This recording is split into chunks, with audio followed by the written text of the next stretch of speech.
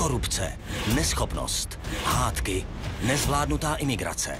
Ale tak toto přece být nemusí. Zajistíme bezpečí našich domovů, zvýšení důchodů, bezúročné novomanželské půjčky a 300 tisícový příspěvek těm, kteří řádně vychovávají své děti. Prosadíme hmotnou odpovědnost a odvolatelnost politiků. Jsme kompetentní vládnout, dodržujeme pravidla a máme srdce na správném místě.